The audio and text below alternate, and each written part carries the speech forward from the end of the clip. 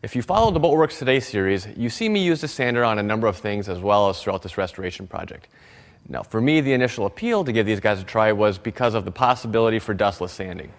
Now, it seems like half my time is spent sanding, so there's also a convenience appeal to me as well. Basically, anything to make it easier and faster. Quick Cut makes two different models that come in two different sizes. They offer both a finished sander and what I would consider more of a rip and tear model. Now, each of these are offered in both a 3 and a 6 inch size. Now the difference between the finish and the rip and tear sander is the amount of movement on the sanding head.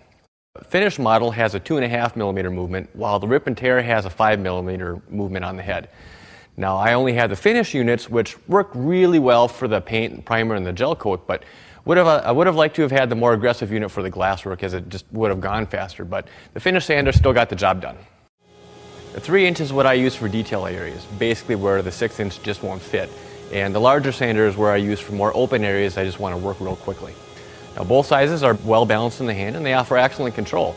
In the long run, they save a lot of time on my projects.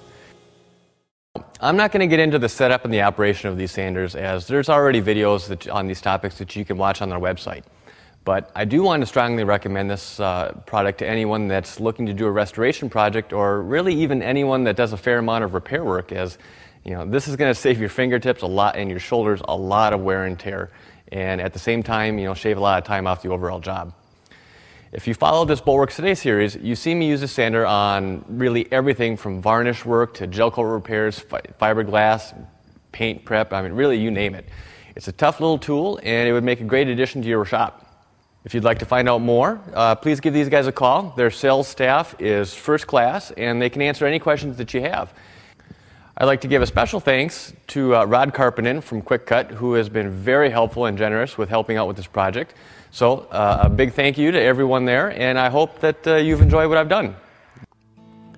And in the next show, we're going to be doing some fairing, a lot more sanding, and finally, some spraying.